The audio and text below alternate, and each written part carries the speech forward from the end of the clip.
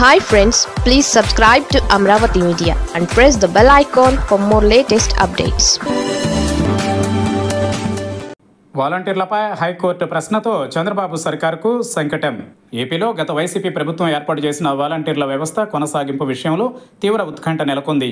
ఇప్పటికే ఎన్నికలకు ముందు వాలంటీర్ల వ్యవస్థ కొనసాగిస్తామని వారికి జీతాలను కూడా రెట్టింపు చేస్తామని చెప్పిన కూటమి నేతలు ఇప్పుడు ప్రభుత్వంలోకి రాగానే వారిని పెన్షన్ల పంపిణీ నుంచి తప్పించడం చర్చనీయాంశంగా మారింది. రాష్ట్రంలో గత ప్రభుత్వం నియమించిన వాలంటీర్లలో దాదాపు అరవై వేల మందికి పైగా ఎన్నికల నోటిఫికేషన్ తరువాత రాజీనామాలు చేసి అధికార వైసీపీకి మద్దతుగా ప్రచారంలోకి వచ్చేశారు. వైసీపీ నేతల ఒత్తిడితోనే ఆ రాజీనామాలు చేస్తామని ఇప్పుడు వారు చెబుతున్నారు. గతంలో ఎన్నికల పోలింగ్ సమయానికి దాదాపు లక్ష మంది వాలంటీర్లు ఇలా రాజీనామాలు చేశారు. దీంతో వాలంటీర్ల మూకుమ్మడి రాజీనామాలు ఆమోదించవద్దంటూ హైకోర్టులో పిటిషన్లు దాఖలయ్యాయి. దీనిపై అప్పట్లో విచారణ జరిపిన హైకోర్టు ఎలాంటి నిర్ణయం తీసుకోలేదు. కానీ తాజాగా మరోసారి వాలంటీర్ల రాజీనామాల ఆమోదం వ్యవహారంపై విచారణ జరిపిన హైకోర్టు దీనిపై రాష్ట్ర ప్రభుత్వంతో పాటు ఈసీ తమ అభిప్రాయాలు తెలుపుతూ అఫిడవిట్లు దాఖలు చేయాలని ఆదేశాలు ఇచ్చింది.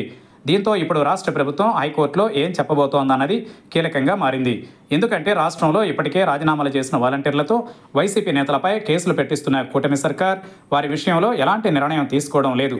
అదే సమయంలో పెన్షన్ల పంపిణీ నుంచి వారిని తప్పించింది. ఈ నేపథ్యంలో హైకోర్టులో ప్రభుత్వం తన స్టాండ్ చెప్పక తప్పని పరిస్థితి ఎదురైంది. ఈ మేరకు త్వరలో ప్రభుత్వం అఫిడవిట్ దాఖలు చేయనుంది.